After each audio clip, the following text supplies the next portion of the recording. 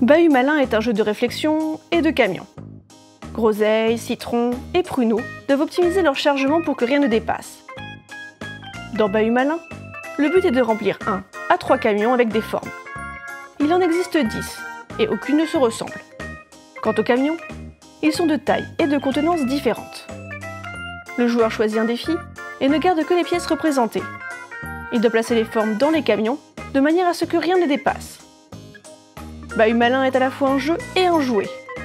Il se joue à partir de 3 ans, mais l'enfant commence par se familiariser avec le jeu en s'amusant avec les camions.